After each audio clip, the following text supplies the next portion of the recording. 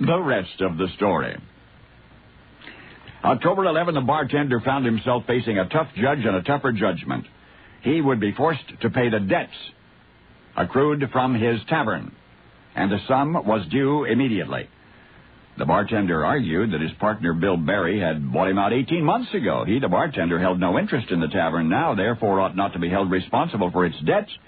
The judge said that didn't matter. Many of the debts had accumulated while he was part owner of the establishment. The bartender frowned and then protested that he had nowhere near the amount of money demanded of him. The judge said that's all right. The court would merely confiscate his personal property, including his transportation. Oh, the barkeep, confounded, kept his mouth shut accepted the judge's decision. Perhaps he could borrow enough cash from a friend to get his things back. It took several days, but such a friend was found. The bartender's belongings were returned, and he vowed then and there that he would never ever get involved in a business deal like that again. That was October. The following January, his former business partner died.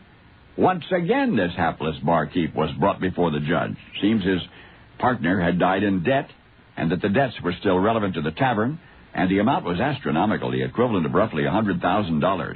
The surviving partner said the judge must pay it all. The bartender said, Wait a minute, Judge. He tried to explain the intricate financing and the persistent lawsuits which had plagued the establishment from the start. He pleaded that he'd been part owner for only a short while, that he'd sold his share in the place only a few weeks after he and his partner had procured their tavern license. But the judge was unimpressed by the bartender's excuses. If he had been concerned about his financial vulnerability, he should have become involved in such a complicated entrepreneurial venture.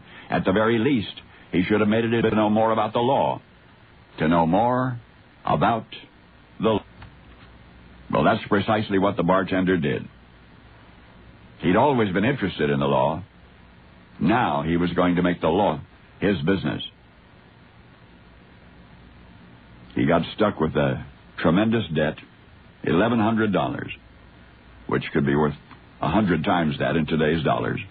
He was responsible for, for the reimbursement of that staggering amount in January of 1835. But within two years, he passed the bar. Passed the bar, the barrister kind, in March 1837, and his own in, into politics. So now, the next time you ponder the war between the states, the next time you reflect on the freeing of the slaves, the next time you hear the words fourscore and seven years ago, our fathers brought forth on this continent a new nation, I want you to remember as well a bumbling bartender. A bartender in hock up to his stovepipe hat. Another cringing victim of the court system a barkeep named Abraham Lincoln. Because now you know the rest of the story.